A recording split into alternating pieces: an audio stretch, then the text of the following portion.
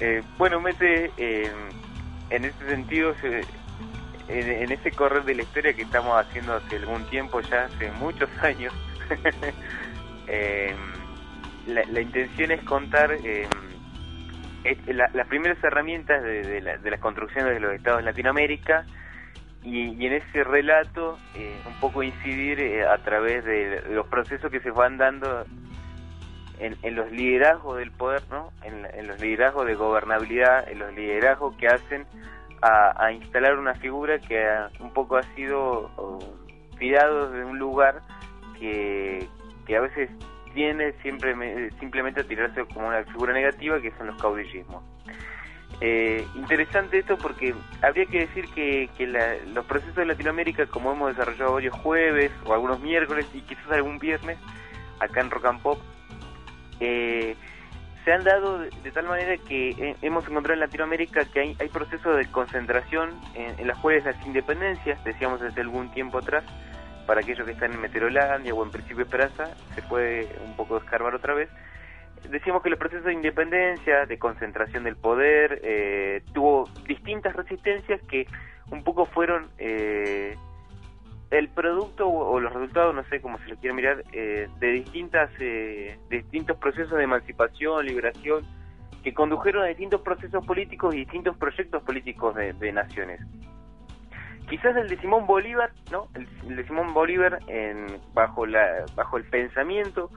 quizás más, mm, más cercano a entender una visión más global de, la América Latina, de las naciones latinoamericanas, eh, en, en, el marco de entender la patria grande, haya sido eh, el, proceso eh, bajo la pérdida o las derrotas de España dentro del continente que haya, haya tomado, digamos, la, mayor reigambre a, entender una nación grande y compleja. Y, en ese proceso hay dos, dos países que mm, van a tener, digamos, una especie de, mm, de, ingreso tardío a las independencias, que uno va a ser Cuba, fíjate, mete vos, y el otro va a ser Puerto Rico. Eh, son los dos países que no habían todavía alcanzado los procesos de emancipación en el siglo XIX, mientras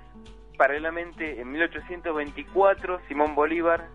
concreta uno de los parlamentos en, Panamá, en 18, perdón, en 1815 concreta un, parlamento en el cual hay distintos congresales representantes de los países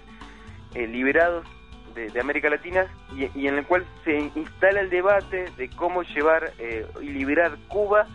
y Puerto Rico. Digamos, fijémonos acá, estamos en 1815, el planteo, ¿no?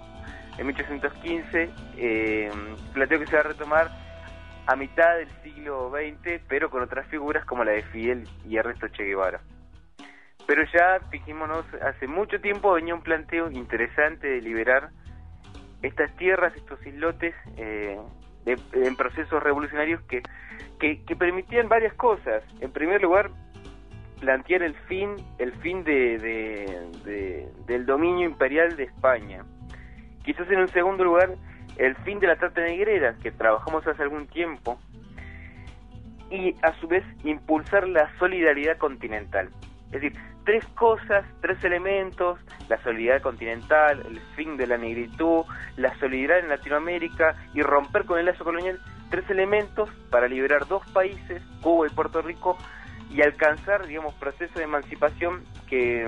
que se mantenían, digamos, y se mantiene en algunos casos como, como una relación colonial que, que es difícil de combatir. Y en ese sentido, los procesos de los estados de independencia y el, surgimiento de los, de, los caudillos eh, generó relaciones, fuertes relaciones tensas con la doctrina Monroe, que es la doctrina, digamos, en las cuales Estados Unidos interviene en Latinoamérica,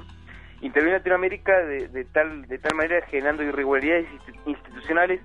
tales como son pequeñas, pequeñas este, o grandes trabas, algunas manifiestas, otras no manifiestas, en las cuales la inestabilidad política, la inestabilidad social, hizo que las clases dirigentes criollas debieran movilizar, las que rompían con el realismo, movilizaran las masas formando ejércitos de composición étnica bastante variada, eh, y en ese sentido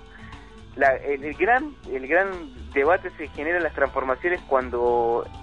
los poderes, ¿no? En las transformaciones se introducen ejércitos en los cuales los inconvenientes se generan en los futuros los estados porque porque los estados que nacen en Latinoamérica